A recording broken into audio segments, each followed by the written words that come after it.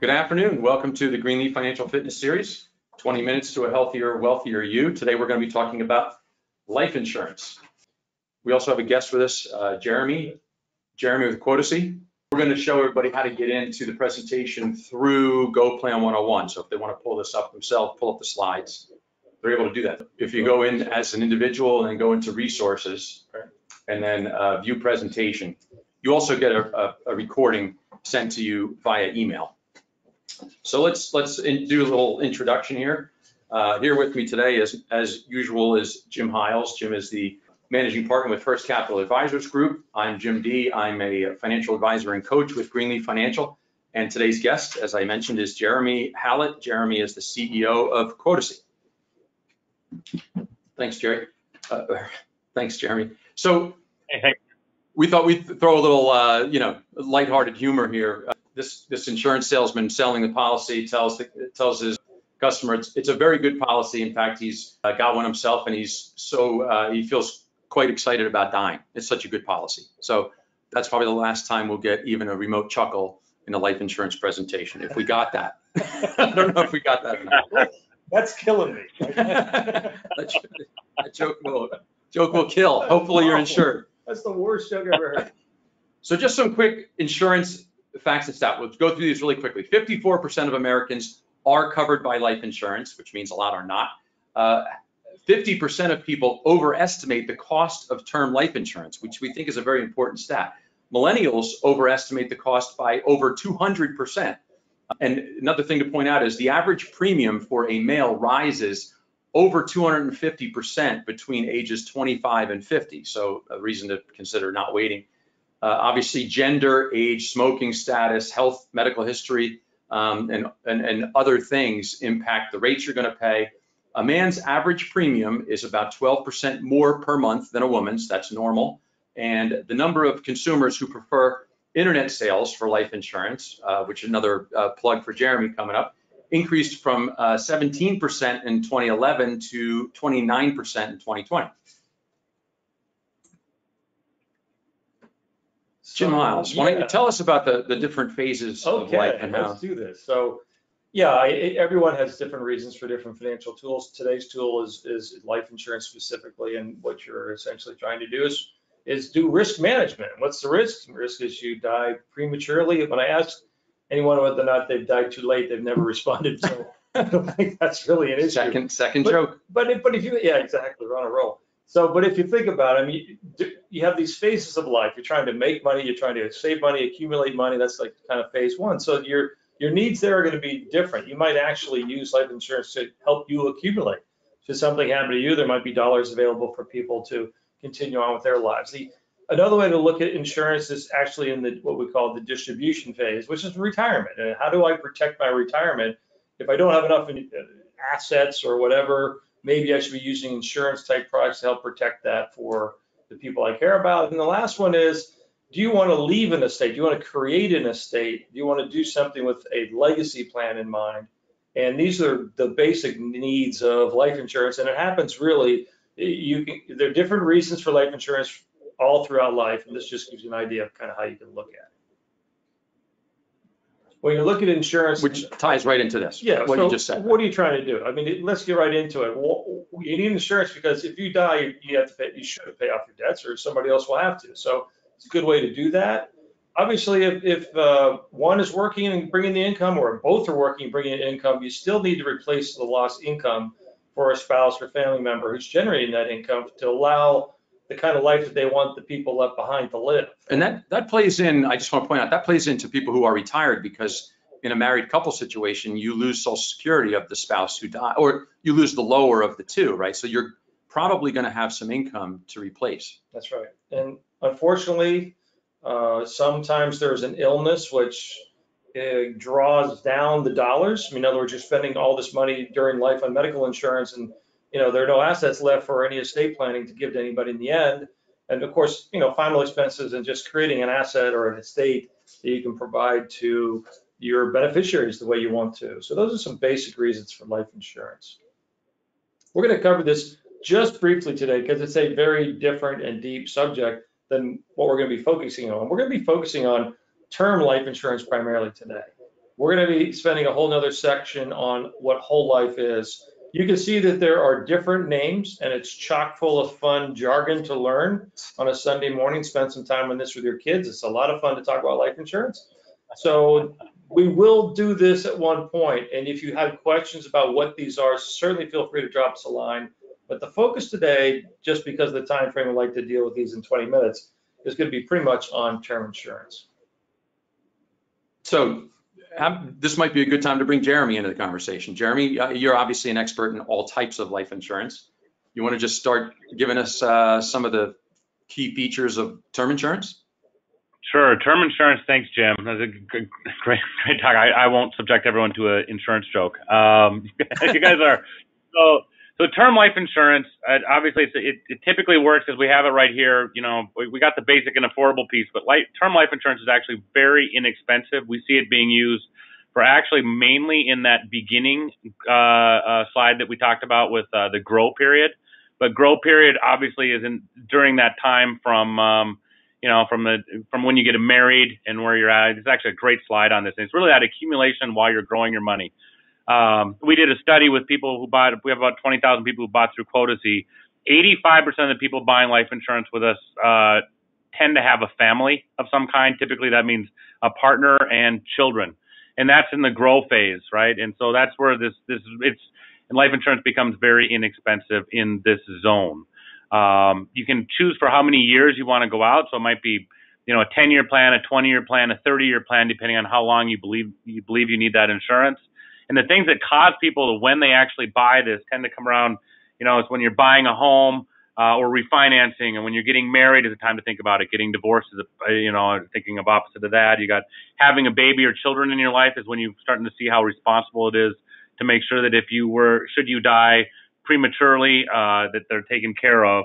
Um, caring for agent parents, we see that as well, or for you know a disabled child or nephew or niece if you're taking care of them. Starting a business can be a big one. A lot of a lot of uh, entrepreneurs tend to invest everything they can into starting their business up and running. And if they were to, you know, if they were to pass on before their business got up and running, they could leave their whole family with a well with a hole, a financial hole. Sending your kids to college is tends to be one we see this done pretty well. And obviously also in these empty nesters in that, you know, called that 50 to 65 zone, still do need insurance because we're building up enough retirement income. And if we weren't there to be putting our money away, uh, will our spouse retire the way that we would really expect them to? Um, but that's there's this term period where you've got call it that 10, 20, 30 years of of, of pricing where the cost will never go up with term insurance. So you say you buy a million uh, and it's a you know eighty dollars a month that price will never change in that 20 year term period. So that that's where we see a lot of people tending to buy in. That price stays the same. Um, you know, the example here, right, Sarah, by the 15 level, 15 year level term for half a million. That price that Sarah is going to pay is guaranteed. Uh, it matters also, and I'll, I'll, take a breath here. It matters when we, uh it matters which carriers we go to. There's call it 10, 20 really good carriers out there that sell life insurance. I won't get deep into why you would want to buy from one of these. But based on your health scenario, so if you've got, um, you know, if you've, if you've been diagnosed with type 2 diabetes or you've had a DUI or you're on antidepressants or you're in your third trimester of pregnancy, you name it, there's a, all the different carriers take a look at how you are, both lifestyle and health, and make a determination on that price. And so you want to make sure that you shop the entire market when you're going out and looking to buy one of these policies.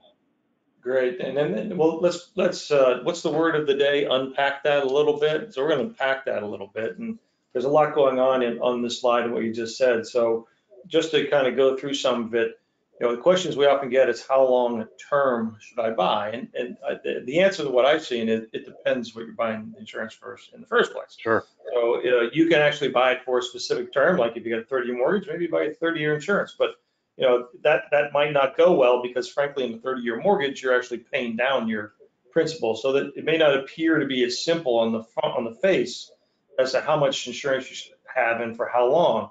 So we're going to take a look at a calculator that you guys can, to, can use on this. And we're, we're going to jump to the uh, Quotacy site, which is embedded in GoPlan. But before I do that, just one more thing to be aware of, because I've seen this happen recently to me and, and Jeremy certainly chime in on this. So what happens at the end of the term? What, what are my choices? Does it just go away? Can I continue it? What if I really needed them because then I'm sick? What is what, what's the scenario you've seen there? Uh, it's a really great question, and that actually matters. Uh, that's called conversion. You've got it right. It's right here on the bottom of the screen here. But um, most of the most of the carriers that we all know the names of, not the newer ones that have been coming out, but the ones that we know, the, the Prudentials, the AIGs, the uh, you name it, the Lincoln Financials, the John Hancocks. All these types of companies have a pro- have a something called conversion option, which means before the end of the term period, if, you want to turn it into a permanent plan, you can which means you can keep your coverage after the term insurance is over. And why you would want to do this is if you're, I'm, I'm 47. So if I buy a 15 year term insurance plan, when I'm 61 slash 62 and my term is about to be over, if I've been had a heart attack or I've been diagnosed with cancer and I want to make sure my family's okay, it, it will cost a bunch, but I'll, I'll be able to turn that into a permanent plan and, you know, if I have a five or a 10 year life expectancy, I can make sure that my family gets that coverage. Uh, that is a really big deal. There actually is a lot of products being sold in the market today that don't have a conversion option. Most of those, I won't name any of them, but there are insurance companies that are out there in the, uh, you know, advertising to everybody right now on television and whatnot. They're not names that you would know. My suggestion would be, uh, and last on conversion, most of us don't know how to look forward 15 or 20 years. That's a long time in the future. And we don't think that that'll be valuable. We think 20 years from now is enough coverage. But I don't know why you wouldn't pay the same price or even less to have that option because the 1 to 2% of people who need it are extremely happy, or at least their families are better taken care of because they purchased the plan that had a conversion option. Yeah, and, and you raised a couple of points there. One, one is that hey, why don't I just buy when I'm 62? You know, if I need more then. Well, as Jeremy Right. just, yeah, just Jeremy just alluded to, what if you, this matters. I mean, your health is going to be a very important mm-hmm. reason whether or not you can even get the stuff.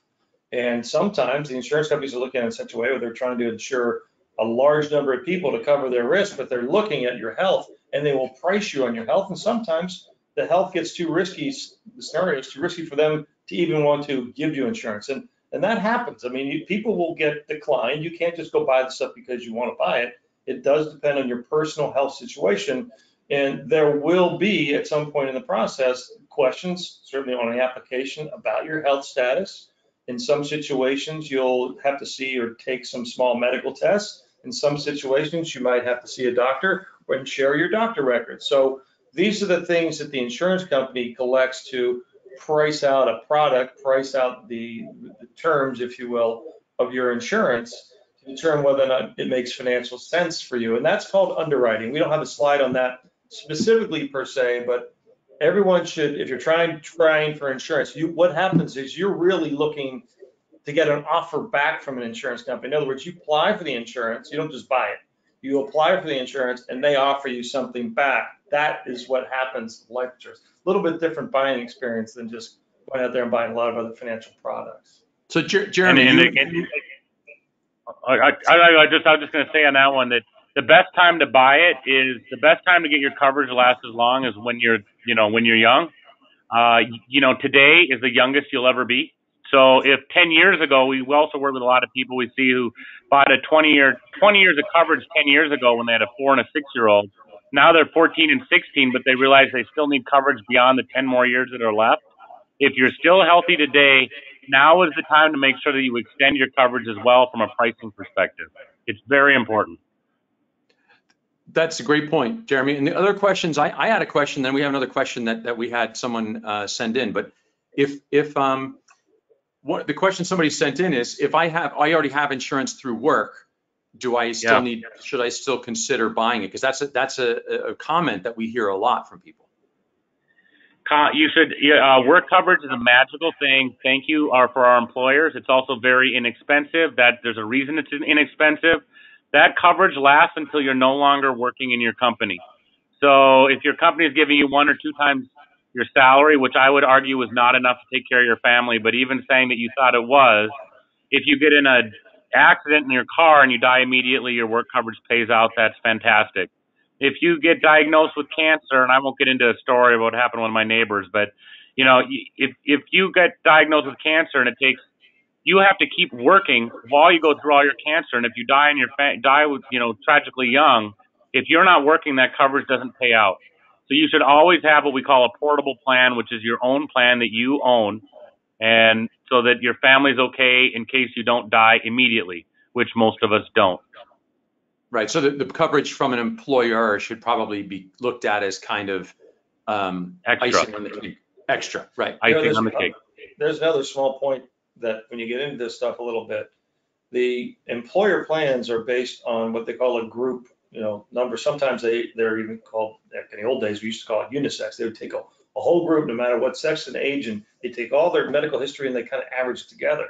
So in some situations, the group rate for the whole group, if you are healthy, you are, could get insurance for the same amount at a lower price. Right, right. So you- there are a couple different reasons to try out your group insurance work. I would say that most people should absolutely get as much as they can and have a portable policy on the side.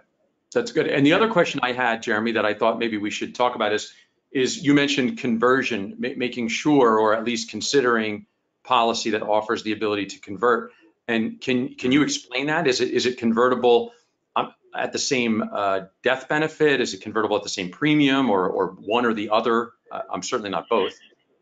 No, it's a great question. So let's just say you have a million million dollar plan. You can convert anything up to a million. It will be the pricing will be based on your age at the time of conversion. So in the future you'll be older. That's when you convert, and it'll also be to a permanent plan.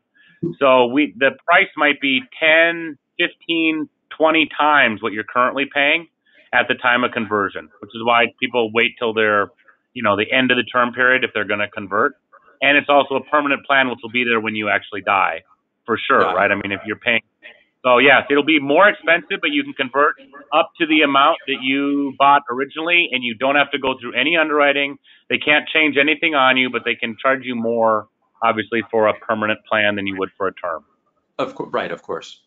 Let's shift gears. We're going to go to GoPlan and just take a, a quick look at some of the calculator, the tools we have in here. We're, we're in GoPlan under software. You, you can find the, the financial tools in here and you can just scroll down. You'll find a life insurance calculator. This is probably where a lot of people should start. It pulls Quotacy, which is Jeremy's company, uh, right up in terms of, you know, how much do I need? So if you're to walk through this thing and, and I'll just put some numbers in here just to demonstrate how it works, but let's say hundred thousand dollars, let's pick a number. Um, how many years of income would be needed to place for your family to be financially secure? Jeremy, is there a number in here that is typical? I like 10 i think that seems to be the most uh, common number but um, it, it kind of yes I, that's typically the way it is Okay. And let's say, oh, uh, two fifty on the mortgage, give or take. Which just, I got, uh, fifteen thousand dollars of other credit card and things like that. Uh, so I could, I, if I have kids, I can help cover their education here, is that correct? That is, so I, I kind of, so this, we're gonna go through this whole thing. The sim, I like simple. Ten Okay. times whatever you make from a gross salary tends to work out as a nice number. And if you're gonna protect your kids in college, this actually uses some numbers for colleges, you know, average numbers for colleges. But, um, you know, in that 13 to 15 year gross, that simple way if you want your kids covered for college. Okay. College right. So if I just click no here and then how much money to bury, I mean, I don't know. So how much do I have in savings, investments? Say I've got, does this include like four oh one K and everything else? That'd be right. Yep. Okay, so let's say I've got, uh, between my wife and I, we have two hundred fifty thousand all told. How much life insurance I plan on keeping? So would, would my group term insurance go in here or no? It would. I, I would suggest putting it in. I mean, if we're not looking at over, you know, uh, I would, you know, I would put my hundred thousand in there. Yep. So I got one times with my group, so that means this is suggesting nine fifty, around a million dollars of insurance, kind of based on these numbers. And you Which in gets me here- right into my, to keep it simple, it's ten times your gross income, right? Pretty- I mean, that's, pretty that's, close. that's, it's pretty That close. works. That works. So you know, once I figure out my potential need, then go back and play the numbers that anyone can here. It's a calculator. So you say, okay, well, Sure. what if we think about this is, so what does it cost me? And so what are we seeing here, Jeremy, as I kind of go through this? I'm just gonna put some sample stuff in here. So, so we go through this. This is a very, this is a very simple, basic quote. So we'll ask for your zip code, which helps know which state you're in. Uh, your birth date is obviously very important for the pricing of your life insurance, and your gender, as we talked about. And then smoking status does matter. Um, you know, most more, more people are non-smokers today than smokers. Uh, that brings us up into the states, which allows us to play with that coverage amount. That's at 950, but you can move that 950 to anything you want to. So let's, Uh, I don't like, I like, I like- round numbers, so I'm just gonna put that up. So you just slide it anywhere you want. Okay. And then And, this, you know, and then Altos, what do you do with this? that same thing. So that we were making, since you put in 1960 on that one, we're assuming that you're, you know, 60 years old, 61 years old. So we would have moved you to a 15 year term. Um, you know, what's the coverage for? And I would argue it maybe at this point for you, you're doing it to make sure that you finish up your retirement bucket for your spouse. Okay. Maybe even a 10 year term for you in this boat would be probably pretty good, but you can move it around. So just move that 15 to a 10. Just slide that to a 10. You'll see where the price really should drop Let's go on a little one. longer. Let's go a little longer. There you go. So I wanted, um, I put in fifty-five, so that's my current age is fifty-five, so I go to seventy-five. years? Right.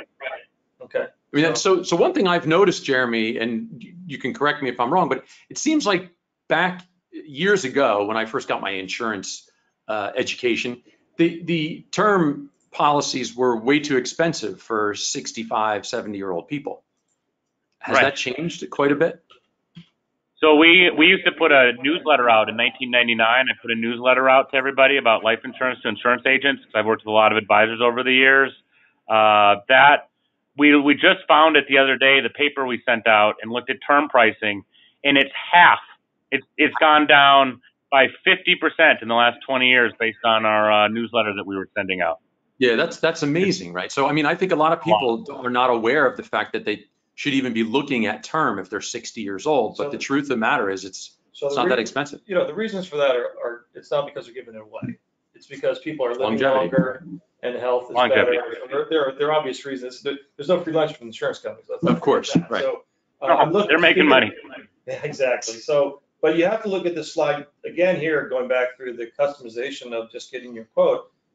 Blood pressure rate, tobacco, nicotine makes a difference, your build makes a difference, blood pressure med- medication, cholesterol medication. I'm just putting some things in here to Yep. show. Let's say we've got a yes with uh, cancer in this case, or my mother had cancer and let's say yes. So that's gonna have an effect on this in some way, isn't it? It can for sure. It can. Uh, Okay. depends on your age, but yes, in this scenario, it would. So now I'm going to get uh, prices. What, what do these prices mean? I get the 273 a month. I get, I get that part for a million dollars, 20 year term, payable monthly. So that, that's kind of what I would be doing. Is that what I'm going to get? Do I know, you know, is that really what I'm going to get, end up with? Yeah, probably it's about somewhere right around sixty percent of the people actually get that rate. Why did Okay. it? They don't get any cheaper rate. Uh, just be just, just transparent. It might be more, so it's kind of use that example a little bit else elsewhere. As you go through this, and, and we I don't think we're going to go through it here today, but we actually have you sort of fill out an application where our team takes a look at all the health and lifestyle questions that you answer. And then I have an underwriter. We were talking about underwriting earlier. I have an underwriter on staff who will look over all the answers you give us, and then my team will shop all of that to all the different carriers out there to make sure we're getting you with the right carrier. And Okay. why I say that is, for example, I'm in Minnesota. We get a few DUIs in Minnesota and Wisconsin around us here, right? I mean, people a DUI will actually affect vaccines are losing.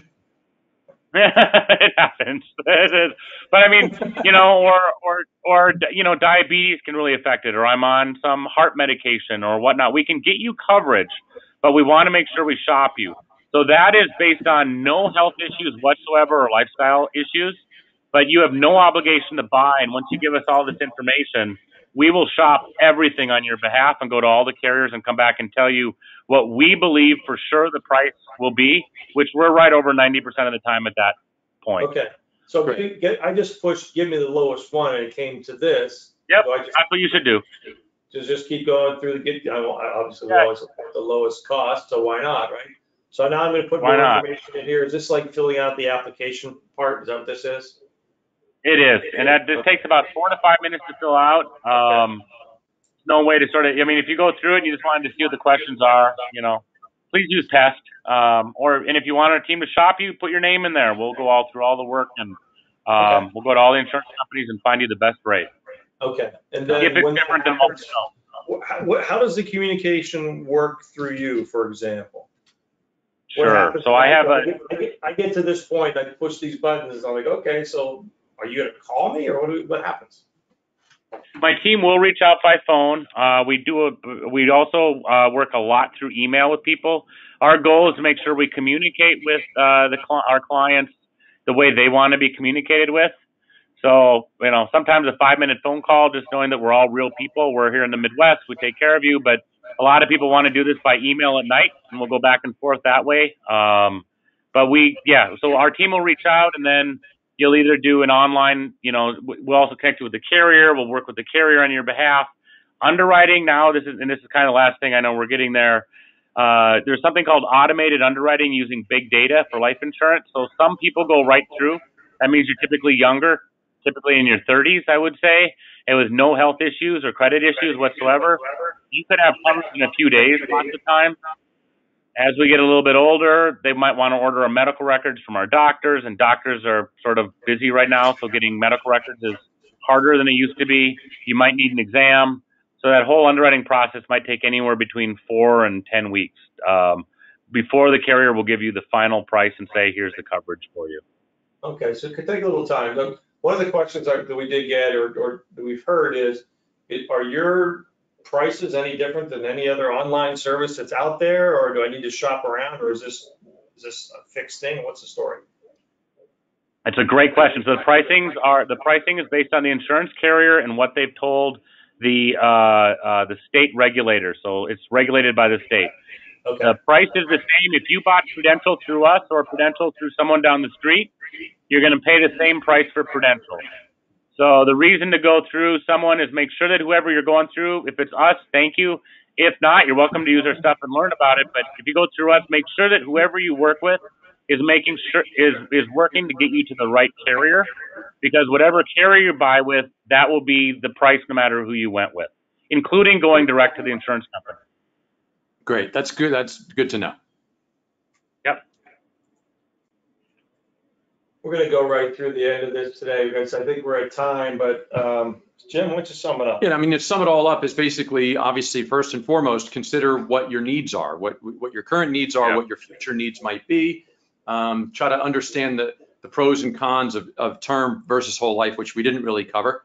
Um, but, you know, you, you can, oftentimes people buy one or the other, or they sometimes buy both because they like, uh, they, they, they see the need for a little bit of each. Um, getting quotes, obviously Quotacy will help you with that.